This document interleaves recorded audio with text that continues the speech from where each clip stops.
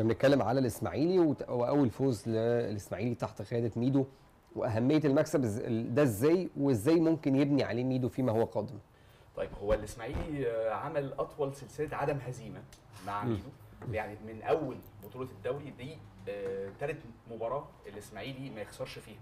كان على طول الإسماعيلي كان maximum يتعادل مثلا مباراتين ويخسر مباراة أو. يتعادل مباراة ويخسر مباراة لا المرة دي يتعادل مباراتين ورا بعض وكسب أخيرا المباراة الثالثه كانت على الداخلية. آه، مباراة شهدت هجوم من الإسماعيلي في في بداية المباراة. الاستحواذ لو هنتكلم بشكل عام لا الاستحواذ كان طبعا للداخلية أكتر ولكن الكواليتي الهجومي بالنسبة للإسماعيلي واستغلاله لأخطاء دفاع الداخلية كان ممتاز.